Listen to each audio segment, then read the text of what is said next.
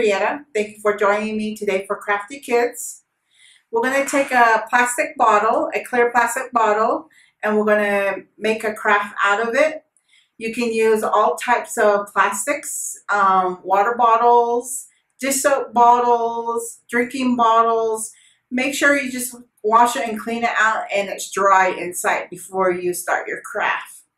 So today I'm going to demonstrate how to take a bottle and we're going to create a um, pig with it.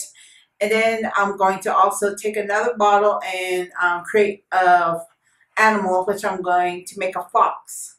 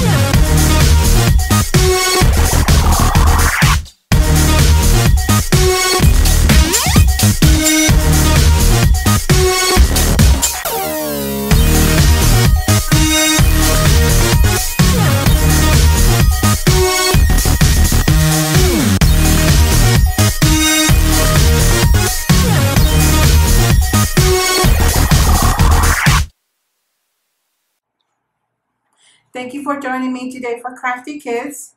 Share your plastic bottle craft with us. Take a picture, put it in the comments section. Any suggestions you'd like for me to do for crafts, please let me know and we can figure out how to use recyclable stuff and other projects you want me to do. Again, thank you for joining me. We'll see you.